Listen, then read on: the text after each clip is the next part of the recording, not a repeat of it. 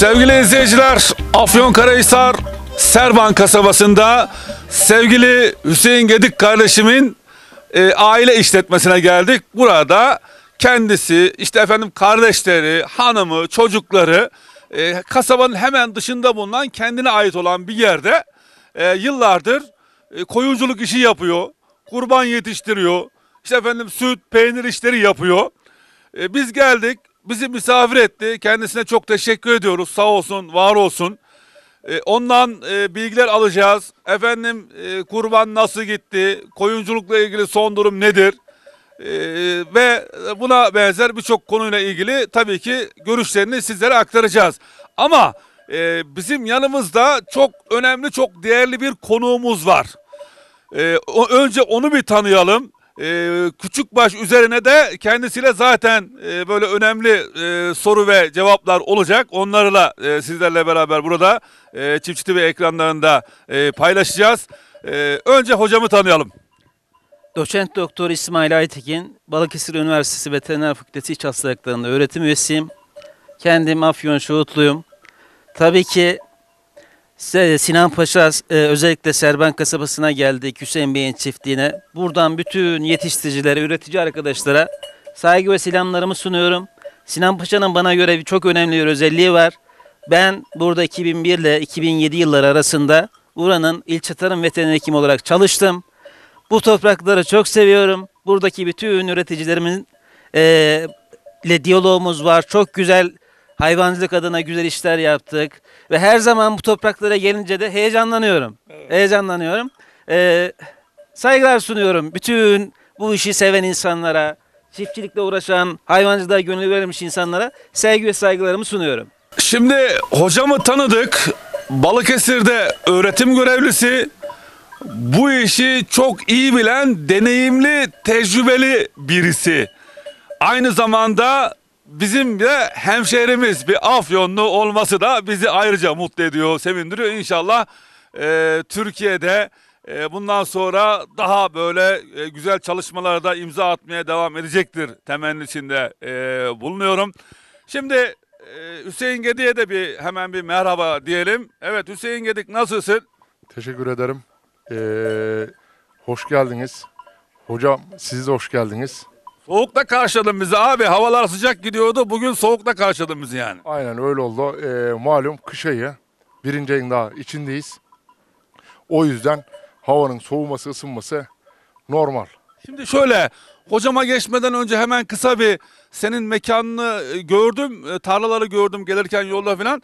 Ekinlerin durumu hiç hoş gözükmüyor abi. Ekinler normal değil bu sene. Ee, sakat ekinler. Ee, sarı kıvırcık dediğimiz şeyden oldu, kuraklıktan dolayı. Ee, yapacak bir şey yok. Sen çiftçisin aynı zamanda ne olur? e, bundan sonrası için şöyle bir ümit ver ya. Ümit Var mı öyle bir? Allah'tan umut kesilmez hiçbir zaman. Ee, Allah deldiği boğaza aşk olmazmış. Yağmurumuzu, karımızı verecek inşallah. Durum o. Şimdi Ocak ayının neredeyse ortasındayız. Aynen. E peki zemherinin içerisindeyiz aynı zamanda. Eskilerin deyimiyle zemheri günlerindeyiz. E, o ne anlama geliyor? Artık şurada 10-15 gün sonra o günler bitiyor. Yani kışın böyle ağır geçtiği günler. Şimdi kışın ağır geçtiği zamanlar eskiler şöyle derdi. 90 gün kışımız var derlerdi. 45 zahmeri, 45-90. İkisini topladığımızda 90 çıkıyor. Afyon'da 90 gün kış. Büyük bir kış bekleniyor. Yani eskinin şeysine göre. Ama şimdi maşallah Antalya'yı, Aydın'ı koduk geçtik Afyon olarak. Evlerimizde e, şu anda kapandık oturuyoruz. Yasaklar var dışarıya çıkamıyoruz. Günde 5 dakika bir dua edelim ya. Herkesten bir ricamdır. Şöyle e, ben lütfen bunu istirham ediyorum. Herkes evinde şöyle fazla değil 5 dakika Mevlam ver ya bereketini ver yağmurunu ver dua edelim. Duayı hiçbir zaman ihmal etmeyelim. Hocam evet şimdi geldik e, meselemize konumuza. Küçükbaş. E, Küçükbaş'ı konuşacağız tabii ki. Şimdi önce şunu sorayım. Türkiye'de e, bu işe eğilim artıyor mu? Artış gözlemliyor musunuz? Efendim bunun sebebi nedir? Koyunculuktaki son durum onlarla ilgili sizden bilgi almak istiyorum. Evet ülkemizde tabii ki hayvancılık sektöründe koyunculuk bizim için çok önemli bir değer. Hayvancılığımızın içerisine mutlaka koyun ve keçi yetiştiriciliğinin olması gerekiyor. Bence ülkemizin gelecek açısından da hayvancılıkta e, çok önemli bir alanı dolduracak koyun ve keççiliğin olması gerekiyor. Bunu baştan vurgulayayım. Çünkü bizi ileride et ve e, şey sektöründe, e, damızlık sektöründe ülkemizin önünü açacak, et ve süte katkı sağlayacak da koyunculuk ve keçicilik. Son yıllarda özellikle şunu vurgulayayım. Et ve sütteki bazen böyle parasitte dediğimiz değerlendirmelere baktığımız zaman üreticilerimiz dönem dönem para kazanıyorlar. Bazen de kazanamadıkları dönem oluyor. Süt sığırcılığı ve besicilik bu anlamda biraz daha masraflı ve ekonomik olarak biraz daha bütçe içeren ve insanları bu anlamda zorlayan bir sektör. Ama koyunculuk kendi işletmesi var, merası varsa ve kendi yapabiliyorsa her zaman üreticimize para kazandırabilecek ve buradan da e, kendi geçimini sağlayabilecek, çoluğunu çocuğunu okutabilecek bir sektör. Evet son yıllarda gördüğüm bir trend var. Yaklaşık bizim koyun ve keçi sayımız e, yaklaşık şunu söyleyeyim 50 milyon civarında koyun ve keçi adedimiz vardı. Geçen gün bakanımız bunu açıkladı. 55 milyona çıkmış. Yani bunu şuradan vurgulayabilirim. Son 3-5 yıldır yaklaşık %15-20 civarında koyun ve keçi sayımız arttı.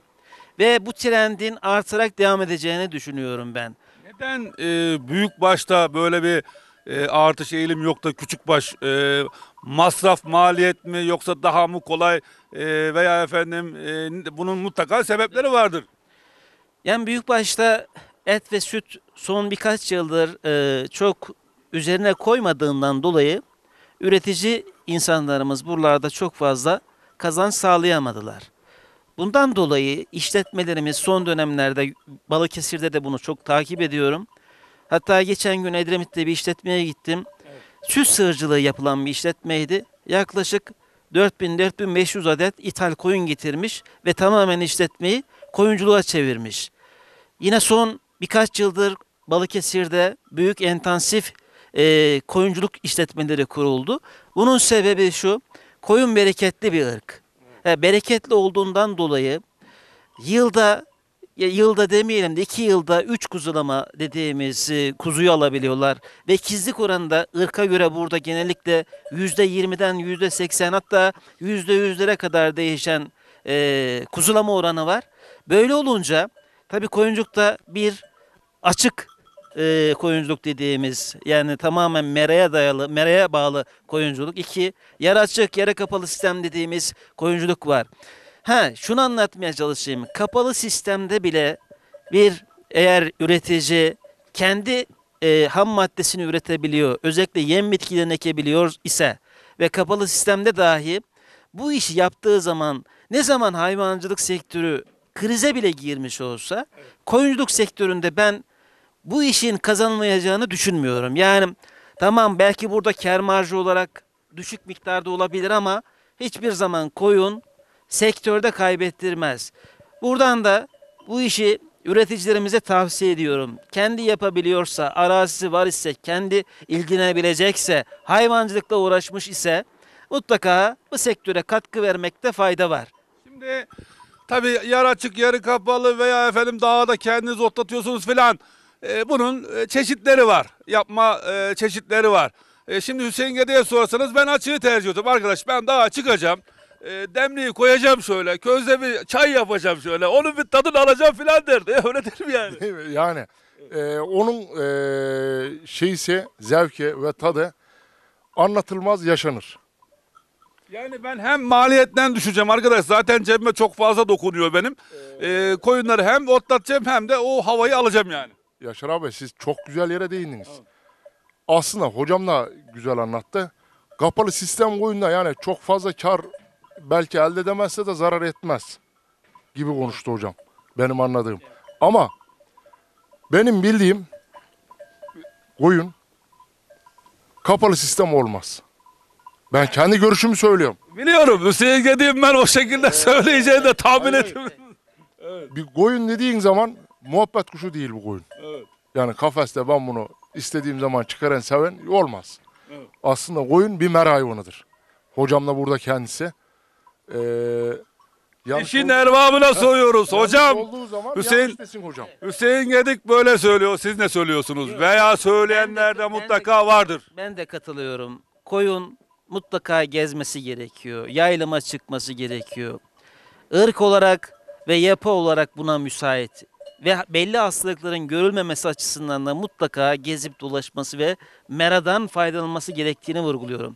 Ha, İsmail hocam çok güzel konuşuyorsun. Ağzına yüreğine sağlık.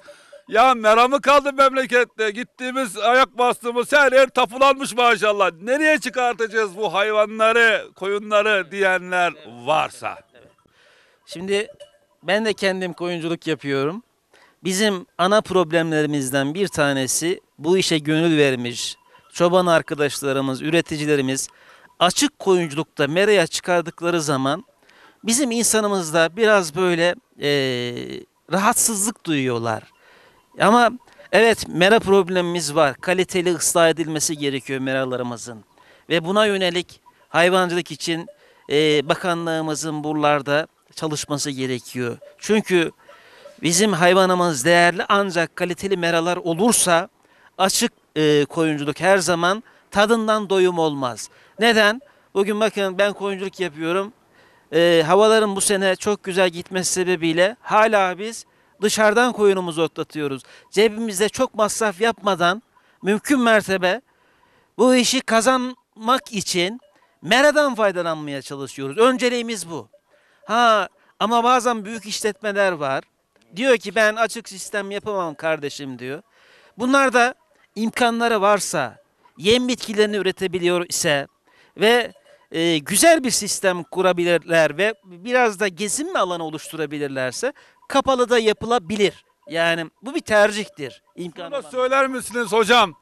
Ya arkadaş, ey millet siz yapın da açık, kapalı, 3, 5, 8, 10 bunu bir şekilde yapın arkadaş dersiniz galiba. Evet.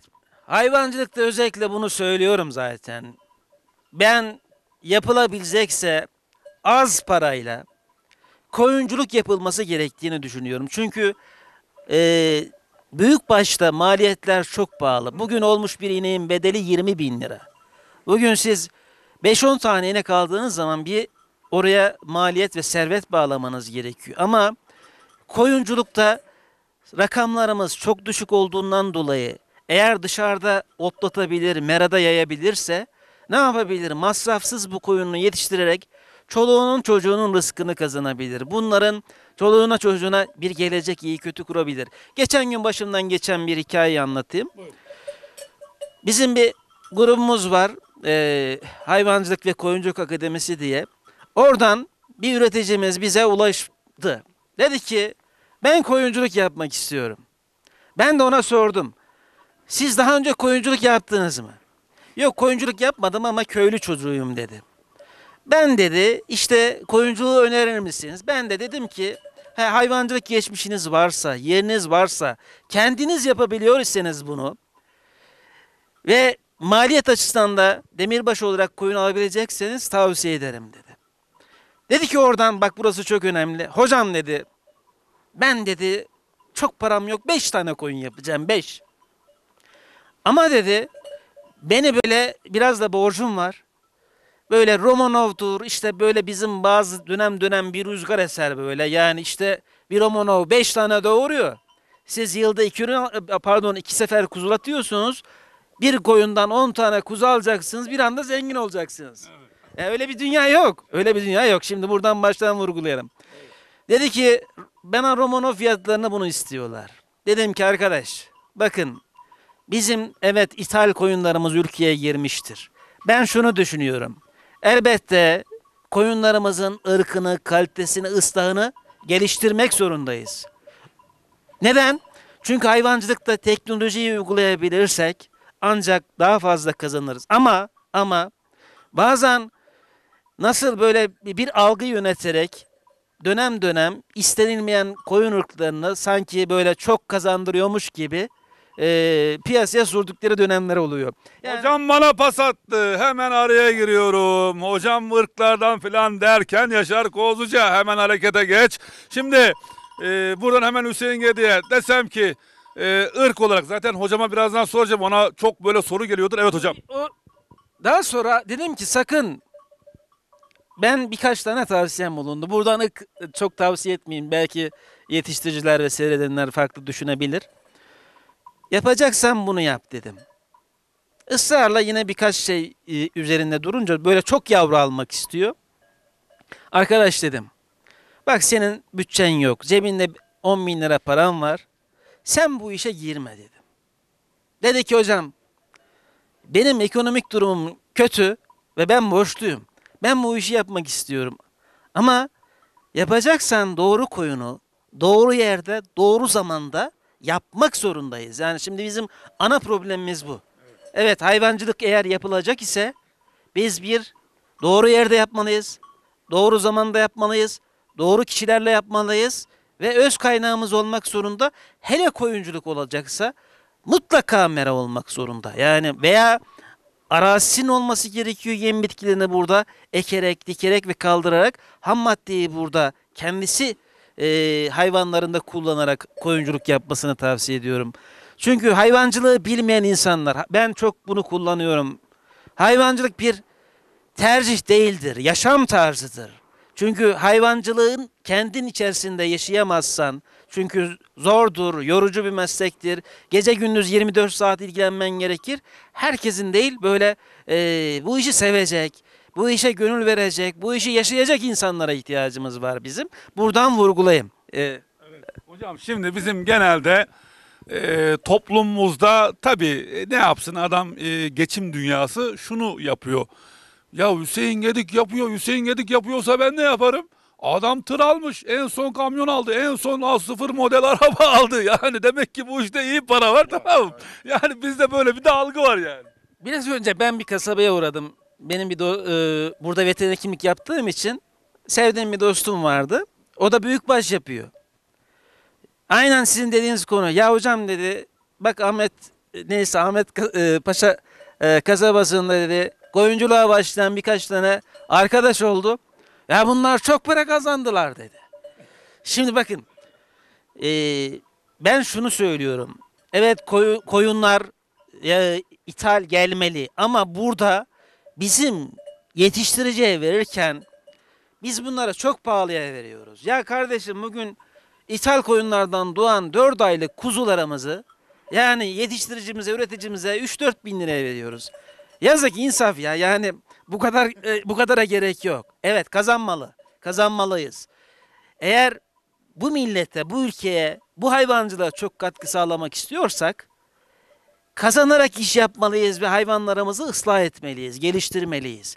Ama duygu sömürüsü yaparak, bak burası önemli, ee, burada algı yürütülerek işte bir, bu sanki bu ırklar altın yumurtlayan tavuk. Öyle bir şey yok kardeşim ya. Yani evet para kazandırıyor. Bunlar elbette et verimi kombine olarak iyi, güzel. İkizlik oranları e, fena değil. Ama altın yumurtlayan tavukta değil yani bunu da vurgulayalım. Benim birinci özelliğim bak kendim ben bir şey tecrübe edindim. Afyon'da daha çok pırlak koyunculuk yapılır. Ben de böyle bir yeniliğe ayak uydurmaya çalıştım. Gittim. Hocam onu soracaktım. Öyle bir yere getiriyorsunuz ki benden böyle bugün alıyorsunuz alıyorsunuz benim soracaklarımı ben sormadan siz söylüyorsunuz zaten. Ne güzel program böyle devam etsin. Şimdi e, size de çok soran oluyordur böyle yani siz kendiniz de mesela yapıyorsunuz. E, bir afyon olarak veya bu işi bilen birisi olarak e, size soranlara ne diyorsunuz? Mesela Yaşar Kozca geldim hocam ya ben koyun işine giriyorum. Ee, sen de gözün aydın o iyi hayırlı olsun. Ne yapayım Ee, yani e, falanı diyorlar Ee, az önce dediğiniz gibi altın yumurtlayan tavuk. Ya şunu mu yapsam bunu mu yapsam ne tavsiye edersiniz filan diye sorduğumda. Sizin şu an tavsiyeniz. Bir defa koyun bir iklim seçen yani adaptasyon uyum problemi olan bir hayvanımız. Şimdi koyunculuğu hangi bölgede hangi ilde yapacak? Bu önemli bir şey. Veya koyunculuğu yapacaksa açık sistem mi, yarı kapalı sistem mi yapacak? Burada bunu bir mutlaka değerlendirmek gerekiyor. Bundan sonra tabii kendisi neyi hedefliyor? Bir damızlık koyun üzerine mi çalışmak istiyor? İki, bıçaklık et dediğimiz yani et kusu yetiştirip kesim üzerine mi çalışacak? Üç, Ya da burada e, süt üzerine mi çalışacak? Şimdi bunu yani tespit etmekte fayda var. Eğer süt üzerine çalışacaksa sütçü ırkları, eğer ırkları yapacaksa birinci tercihimiz bölgesindeki ırklar üzerinde en azından sıfır başlangıç döneminde bölgesi, bölgesindeki sütçü ırkları yaparak tavsiye ediyorum. Yani e, şimdi bizim çok da böyle sütçü ırkımız yok. Yani belli bölgelerde işte e, Tayrova, Sakızlar ondan sonra İvesidir gibi e, sönmez koyunu gibi koyunlarımız var. Ya da son yıllarda biliyorsunuz yurt dışından Laguna dediğimiz Fransız koyunlarımız var yani. Ha bunları evet sütçülük yapacaksa bunlar bir tercihtir. Ha bunların bir kapalı sistem mi açık sistem mi yarı açık sistemde mi çalışacak? Yani her şeyi masaya yatıracak. Yatırdıktan sonra önemli olan birilerinin algısı üzerinden değil. Mutlaka bu işi bilen profesyonel insanlardan doğru bilgiyi doğru insanlardan alarak yatırım yapmak gerekiyor. Çünkü biz şunu görüyoruz. Eğer özgeçmişinde hayvancılık yok ise bu insanlar girince bazen hayal kırıklığı çekiyorlar. Ha bunu yaşamamaları için bunlar bizim öz sermayemiz, ülkemizin sermayesi doğru yerde kullanılmalı, doğru insanlar tarafından doğru ırkla kullanılmak zorundayız yani. Bunu- Hocam kısacası e, bölgenizde bulunan ırkları tercih edin. Süt yapıyorsanız ona göre belirleyin. Et yapıyorsanız ona göre belirleyin. E, Sayın hocamın da hakikaten çok değerli bilgileri var. E, bizi Hüseyin Gedik vesile oldu bizim tanışmamıza. E, hakikaten ona da çok teşekkür ediyorum. E, çok değerli bir hocamla bizi tanıştırdınız. E, ama nasip kısmet olursa bir program inşallah ilerleyen zamanda e, bir de o tarafa doğru bir gelirsek inşallah şöyle güzel Her zaman Balıkesir her zaman bekliyoruz. Çiftçi TV ülkemizde çok önemli bir boşluğu dolduruyor. Tarım ve hayvancılık sektörüne çok önemli bilgiler yetiştirici açısından, seyirci açısından veriyor. Balıkesir'i tanıtmaktan da her zaman onur duyarız. Bekleriz. Her zaman kapımız açık yani. Çok teşekkür ediyorum e, verdiğiniz değerli bilgiler için. Dakikasını saniyesini kaçırmayın. Bakalım son e, artık bilmediğimiz neler var. E, daha sonra neler gelişti e, buralarda. E, onunla da ilgili özellikle de e, koyunculuk yapmak isteyenlere de buradan önemli bilgiler aktaracağız. Tekrar sizlerle birlikteyiz. Çiftçi TV ekranlarında Benim Memleket programında sevgili izleyiciler. İlk bölümde İsmail hocam vardı. Gerçekten harika, tadına doyulmaz, e, müthiş bir sohbetimiz oldu. E, ama tabii doyamadık ama ileriki zamanda inşallah devam ederiz. Sevgili e, Hüseyin Gedik'in de e, galiba e, aileden bu yana bir dost, değerli bir dost. Değerli bir dostumuz. Ee, hem veteriner hekimliğimizi yaptı artı bayağı bir dostluğumuz vardır. Evet, rahmetli babadan bu yana. Aynen babamdan bu tarafa. Baba dostu sayılır. Evet. Baba dostu. Evet çok güzel. Ee, biz de değerli bilgilerinden burada böylece faydalanmış olduk. Şimdi e, koyunlar kuzuladı. Biz şu anda kuzuların olduğu bölümdeyiz. Burası Hüseyin Gedik kardeşime ait. İşte kardeşi var burada Yalçın Gedik hanımı var burada. Ee, anamız var. Anamız şu anda ev işleriyle meşgul. Ee, o şu anda evde oturmayı tercih ediyor. Ee, o, o yüzden uyanımızda yok. Biz ailenin diğer fertlerini buraya aldık. Şimdi e, Yalçın kardeşimle hemen başlayalım. E, kaç tane kuzumuz var? Efendim sağlık durumları nasıl? Bu seneki durumdan memnun muyuz Yalçın? Evet bu sene koyunların genel durumu baya güzel, sağlıklı. Ee, kuzulama oranı da güzel oldu. Ee, biz koçları da kontrollü saldığımız için koyunlarımız kontrollü bir şekilde, hızlı bir şekilde kuzuladı. Allah'a şükür bu sene fazla e, zayiatımız yok.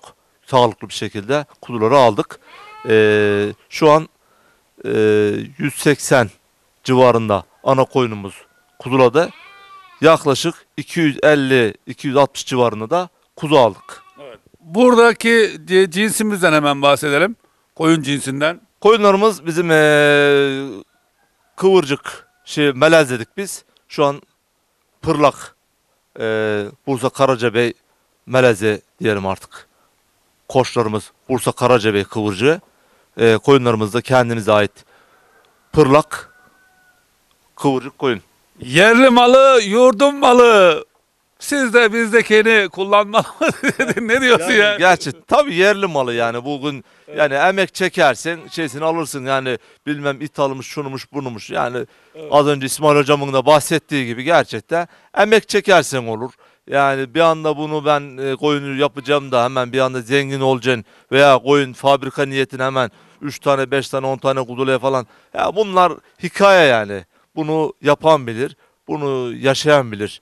Yani biz e, şunu söyleyelim yani neden söyleyelim? Ülkemizde bulunsun, efendim diğer ırklarda o olsun. Ama siz diyorsunuz ki abi biz bundan şaşmayız yani biz e, bundan memnunuz. Ama yapacak olanlara da tavsiye ediyorsun galiba. Şimdi şöyle biz yani ithal gelmesin veya şöyle olmasın böyle olmasın demiyoruz. Yani yapacak olan istediğini yapsın. Yani yapanı da Allah yani kazandırsın. Herkesin işi gücü rast gelsin. Biz yani temennimiz o. Lakin yani burada bilmem ithal yapacağım veya yerli yapacağım veya şunu yapacağım bunu yapacağım. Mesele o değil. Mesele emek meselesi. Mesele yani biz burada bunu öyle yapıyoruz ki ta çocukluğumuzdan çekirdekten yetiştik. Yani bu gerçekten yani çok meşakkatli bir iş. Gerçekten aşk, sevgi isteyen bir iş. Yani yeri geliyor biz bile yani illallah dediğimiz yer oluyor yani. Mesela şu anda e, çoban yok. Şu anda iş ikinize bindi burada. Mesela çoban sıkıntısı var öyle mi? Çoban sıkıntısı var. Çoban da yok ee, dediğiniz gibi. Gerçekten biz burada kendi ailemiz olarak yani sürekli bütün yük kendi üzerimizde. Yani bunu çobanın olmadığı yerde de yani gerçekten güzel bir konuya değindiniz. Çobanın olmadığı yerde de bunu kendin götürme imkanına sahip olacaksın. Yani bu işi anlayacaksın, bileceksin. E Hüseyin abi çobanımız yok hadi bakalım çıkalım deyip hemen götüreceksin yani. Yani bakımını, güdümü olsun yani her şeysine bir şekilde. Zaten çobanım var deyip de çobanın önüne katıp da yani kendi sırt üstü yatacak değilsin. Ya çobandan fazla zaten o zaman da bir şekilde zaten yükün ağırlığı kendi üzerinde olması lazım. Bunu takip etmezsin. Yani bu mümkün değil yani bu şekilde zor yürür yani. Bir ara çobanların bize e, böyle istek, dilek, temennileri vardı demişlerdi ki ne demişlerdi?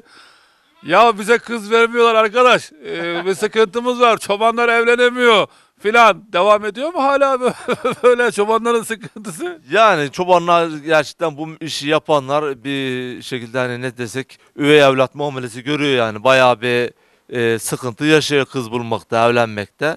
Yani bu işi şimdiki yetişen nesil de biraz daha böyle yani agresif davranıyor böyle yani yani ne bileyim bu iş yapılır mı veya çekilir mi şeklinde. Yani biraz o şekilde sıkıntı var yani. Çok Ah işte bu da çoban olmanın yani yapacak bir şey yok. Şimdi e, Hüseyin Gedik e, şöyle bir şey var. E, Bazen ben ilkokul yıllarında 85-6'larda bir iki sene böyle koyun çobanlığı yaptım. Yani bu işe yabancı birisi değilim aslında.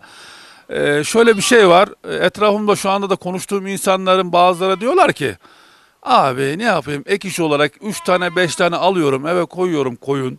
Efendim ondan kuzu alıyorum 10 yapıyorum 20 30 40 50 bir şekilde hem oğlana ev veriyorum hem efendim eve bir katkı oluyor filan Ee, da mesela e, yapanlar mutlaka vardı değil mi böyle etrafında? Tabii tabii. Mu- Muhakkak İlla aslında- böyle büyük sürülerin olması şart değil. Yok değil. Ee, aslında e, hem aile bütçesine hem e, ekonomiye e, hemen hemen herkeste bulunduğunu isterim yani. 3 tane, 5 tane, 10 tane, 20 tane. En azından kendi kurbanını keser, çocuklarının kurbanını temin etmiş olur en azından. Şimdi az önce biz çoban falan konuşurken burada gerçek e, e, bir şey var, görüntü var. Yengem var mesela. E, biz önce onu bir tanıyalım. Ben Serap, Hüseyin eşiyim. Şimdi e, Serap abla e, az önce çobanlar evlenemiyor, kız bulamıyor falan böyle bir şeyler söyledik de e, senin eşin de aynı zamanda bir çoban. yani Hüseyin de aynı zamanda bir çoban. Sen niye çobanla evlendin? Ben mi?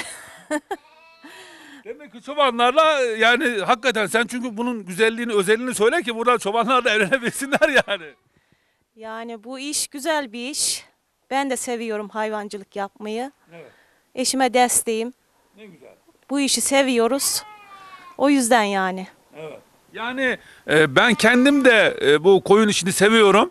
Ondan dolayı bir sıkıntımız yok. Biz karı koca bu işi e, çok güzel devam gö- götürüyoruz. Devam ettiriyoruz evet.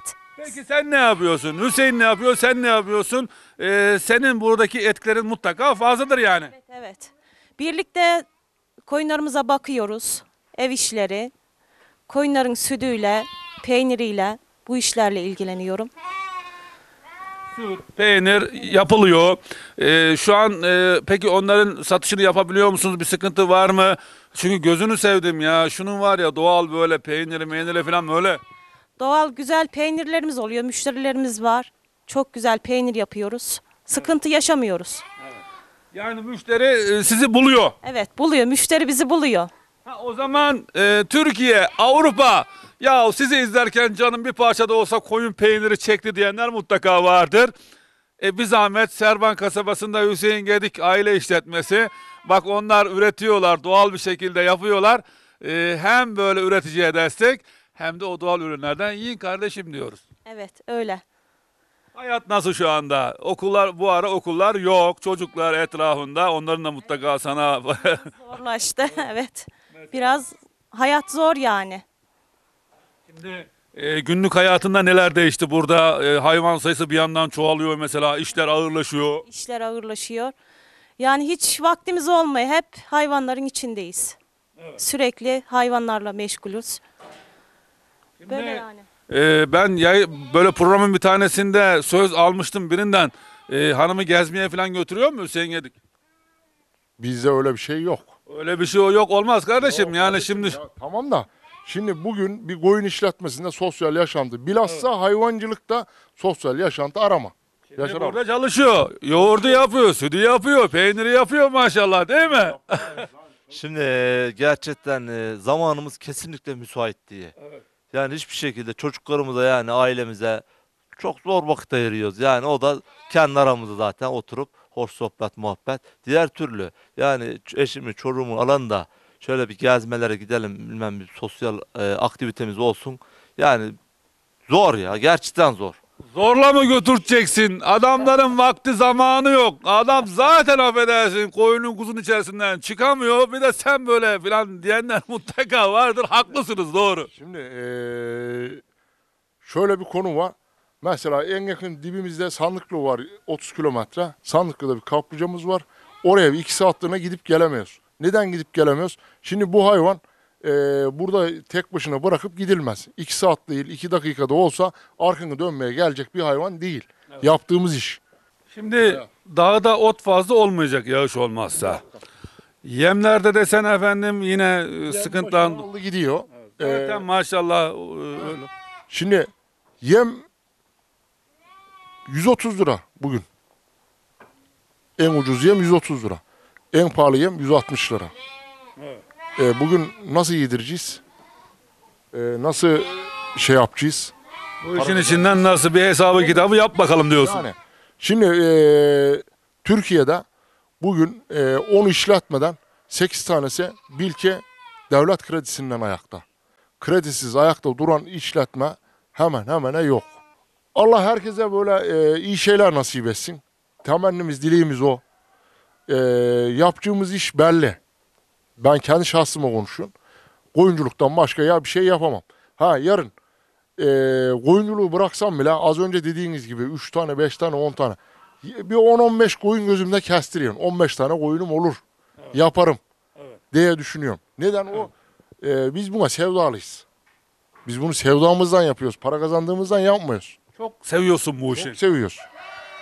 Yani bunu yapmak isteyenlere de önce sev. Yani ilk Ya ben etapta ya ben şu kadar kazanırım bu kadar hesabını yapma ama önce sev. Ben ilk önce her zaman e, şunu şey yaparım. Kardeşim ben bugün çobanım. Ve aynı zaman üreticiyim. Ben yaptığım işten, çobanlığımdan, yaptığım e, her şeyden kendim gurur duyuyorum. İlk önce zaten kendim gurur duymaz. Az önce eşimin de dediği gibi severek yapıyor. severek yapmasak ne eşimi çalıştırabilir ne eşim beni çalıştırabilir. Bu işte. Şimdi Allah helal olsun. Hiçbir şey yapılmaz. Biz bunu içimizden gelerek. Çünkü takanımızın içine kadar işlemiş bunun sevgisi. Ne güzel. Mesela sabahleyin bunun ye- yem saati saat 8 ise biz 8'i 1 dakika geçirmemişizdir. Bir de bunun gece yemlemesi var. Gece 11 deniyoruz bir de biz gece 11'de oyunu yemliyoruz. Şu an kuzularla beraber koyun, kurbanlık elimizde ne kadar e, var küçükbaş? Küçükbaş e, 250 falan anaç koyunumuz var. E, 150 e, erkek kurbanlığımız var. İşte biraderin dediği gibi de 250-200 civarlarında da erke- şey küçük süt kuzumuz var. Yani bir 7-800 burada. Yani aşağı yukarı 750 falan hayvanımız var mevcut yani Evet. çiftliğimizde. Evet şimdi 7-800 küçük başın olduğu yerde işte efendim tablo burada. Yani burada başka kimse de yok. İşte yapacak adamlar 3 kişi bu işi yapıyorlar. Onu buradan özellikle söyleyelim. Şimdi e, yengem e, tabii işin şey kısmıyla ilgileniyor. Süt, yoğurt, peynir kısmıyla ilgileniyor. E, biz biraz daha o tarafa doğru ağırlık verelim. E, bizim de sevdiğimiz bir konu. E, şimdi e, nasıl peynir durumları, satışı, fiyatı efendim e, bir onları bir söyle bize. Satışlarımız güzel. Gayet güzel gidiyor. Nerelerden nelere gönderiyor? Müşterimiz buraya kendisi gelir. Biz pazara e, peynir çıkarmayız. Ha, bir dakika anlasın o zaman e, ablam. Müşterilerimiz var. Onlar gelir. İlkbaharda bize söylerler. Biz yaparız peyniri. Ne söylersin buradan? Bazıları şimdi koyun peyniri kokuyordur veya sevmez. Ben çok severim mesela yani. Özellikle tulum peynirini bayılıyorum mesela koyun peynirine de. Güzel peynirimiz, tereyağımız, peynirimiz. Gayet güzel tadında yani. Doğal. Hiçbir katkısı yok. Ya şimdi bu e, sütle ilgili bakın sevgili izleyiciler e, ben aynı zamanda bir gazeteciyim. 23 yıllık bir gazeteciyim. E, araştırmalar da yapıyorum. E, kulağıma çok hoş olmayan şeyler e, geliyor. Özellikle bazı yerlerde, işletmelerde filan. Onları duymak istemiyorum ama ister istemez geliyor. Ya gözünüzü seveyim yani e, ya yarın bu işin toprağı var, hesabı var, kitabı var. Bunu göz önünde bulundurun. Sadece bu dünya, bu dünyada biz böyle sürekli yaşamayacağız. Bunu herkes bilsin. Onun için e, işimizi yaparken dürüst, yani işimize hile karıştırmadan. Bak ne dedi? E, hiçbir katkı maddesi bulunmadan ne alıyorsak onu e, ürüne dönüştürüp veriyoruz. Evet, evet. Müşterilerimize sunuyoruz. Yoğurdumuz e, doğal yaptığımız için 3 gün 4 gün dolapta kalabilir. Çabuk ekşir yani doğal olduğu için. Çabuk ekşime yapar. Yoğurt öyle. Evet yoğurt öyle ama peynir bir sene dursa bir şey olmaz. Bir sene dursa bir şey niye öyle? Doğal tuzu besliyor peyniri. Tuz yapıyoruz. Peynir tuzu. Evet. Ağzını kapatırız bir sene boyunca durur. Bir sene boyunca hiçbir şey olmuyor. Evet bir şey Nasıl olmaz. muhafaza edilmesi lazım o peynirin? Kapatılması gerekir derken dolaba mı koyuyoruz? Ne yapıyoruz? Nerelerde? Yapmayız. Tuzlarız peyniri. iki gün bir kapta beklediriz. Ondan sonra tenekeye yerleştiririz onu tuzla. Peynir suyundan dökeriz. Bir sene boyunca hiç bozulmadan durur. Oh, maşallah ya bir sene. Kendi doğal organik suyunu üzerine döktükleri zaman tuzlu bir şekilde ondan sonra onu ister bir yıl ister iki yıldır ağzını kapattın mı bidon, naylon bidon veya teneke vesaire şeylerde ondan sonra onun birkaç sene de o şekilde ömrü vardır. Ne güzel. Abla şu an ne kadar? e, yoğurt ne kadar? Peynir ne kadar şu an? Mesela ben geldim buraya. Benim televizyoncu olarak görme. Ben buraya böyle merak ettim. Ya bak şurada bir koyun çiftliği gördüm. Gideyim de şuradan bir canım yoğurt peynir çekti. Kaç para? Peynirimiz 45 kilosu. 5 lira şu anda. Evet. Ha şimdi bazen şunda mesela ya ne kadar pa- pahalı değil. Yani bunda az önce bir şey söyledim ben. Yani yediklerimiz ben bazı şeyler anlatmak istemiyorum ama işte ben oradan bir mesaj verdim. Bu burada yapılan içinde hiçbir böyle yağı mağı falan alınmadan direkt yapılan. Evet direkt yapılan. Doğal yağıyla birlikte peynirimizi o şekilde yaparız. Ya bir de yani. hadi aldım ben şuradan birkaç kilo peynirimi aldım. Ee, e canım bir de yoğurt olsun ya şöyle bir koyun yoğurdu kaşıklayalım falan. Koyun yoğurdu 15. Şu an kilosu. Olsa 15. O da böyle ya böyle nasıl söyleyeyim böyle ya yağ gibidir böyle koyun yağı da böyle katı efendim kaymak gibi böyle ekmeğin üzerine sürersin oh mis gibi filan e, yersin onu da hakikaten çok güzel 15 lira da yoğurdumuz. Evet. Kilosu 15 lirada. Peki süt satılmıyor. Sütü satmıyoruz. Genellikle peynir yaparız. Şimdi e, aman ha bana kızmayın gönül koymayın e, koyunların içerisinde aklıma geldi bir anda böyle ekmekten girdik kremadan yağdan peynirden falan bahsettik. E, hem onlara da ilgili sizlere bilgi vermek istedik tabii ki. Hüseyin Gedik'in Serban kasabasındaki aile işletmesine geldik. Koyunculukla, küçük başla ilgili önemli bilgiler aktardık. İsmail hocam birinci bölümde bizlerle beraberdi. Ona bir kez daha teşekkür ediyorum. Yalnız bir kitabı vardı tanıtmayı unuttum koyun keçiyle ilgili. Onu da inşallah önümüzdeki haftalarda size tanıtacağım. Ee, siz de faydalanırsınız mutlaka.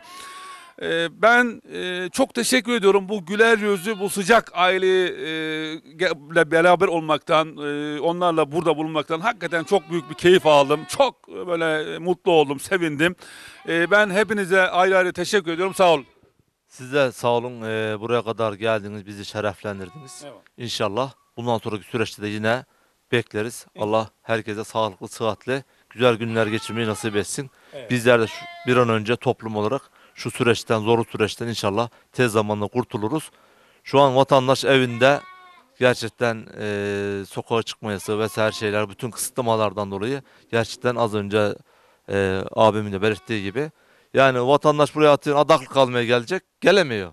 E, vatandaş işte bir kurbanı var, adağı var, kesecek, kesemiyor veya bir ihtiyacı var, karşılayamıyor bir şekilde kısıtlamalardan dolayı.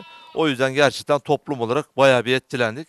Allah inşallah tez zamanda tüm e, toplumumuzu inşallah bütün Güzel günlere yani sağlık, sıhhat, afiyetle inşallah güzel günlere erişmemizi nasip eder. O günleri inşallah görürüz. Eyvallah. Çok teşekkür ederim ablacığım. Geldiğiniz için teşekkür ederiz. Buralara kadar el- gelmişsiniz. Teşekkür ederiz. Ben de çok teşekkür ederim. Hüseyin Gediz son olarak hemen alayım sen. Son olarak buradan e, Tekirdağ Çorlu'da görev yapan asker kendisi. E, yeğenim Kamil'e. E, Yozgat'ta öğretmenlik yapan Emine Aktaş. E, kendisine çok selam. Yeğenim Ramazan Denizli'de oturuyor. Ona da çok selam ablamlara, eniştemlere. İşte söyleyeceklerimiz bu kadar. E, bir de buradan vatandaşlarımıza e, şunu demek istiyorum. Kurbanı yetiştiriciden yetiştiriciden almasını tavsiye ederim. Hem gözü göre göre hem hilesiz bir kurban keser insan. E, biz de burada öyle e, şişirme, şu bu e, hormondur mormondur biz bilmeyiz, kullanmayız. Kendimiz doğal, tarladan kardır- kaldırdığımız arpayla, buğdayla besliyoruz. Bu şekilde e, temennimiz o. Ne güzel. Tabii çok doğru söyledin. Ona da değinmiş olduk. Efendim ben e, bir kez daha e, ailemize çok teşekkür ediyorum. E, inşallah ürünlerinin efendim bol e, bereketli olmasını ve işlerinde başarılar diliyorum. Çiftçi TV ekranlarında benim memleket programında bu hafta Afyonkarahisar'ın Sinanpaşa ilçesine bağlı Serban kasabasında sizlerle birlikte olduk. Hüseyin Gedik kardeşim ve ailesine ait olan işletmede küçük başla ilgili sizlere önemli bilgiler aktardık. İsmail hocam vardı. Gerçekten çok önemli bilgiler aldık kendisinden programın ilk bölümünde. Bu hafta sizlere elimizden geldiği kadar küçük başla ilgili önemli bilgiler aktarmaya çalıştık. Geldik böylece bir program birlikteliğimizin daha sonuna. Önümüzdeki hafta başka bir diyarda, başka bir benim memlekette tekrar sizlerle birlikte olmak ümidiyle yayında ve yapımda emeği geçen tüm arkadaşlarım adına yine her zaman olduğu gibi hepinizi Yüce Allah'a emanet ediyorum. Hoşça kalın.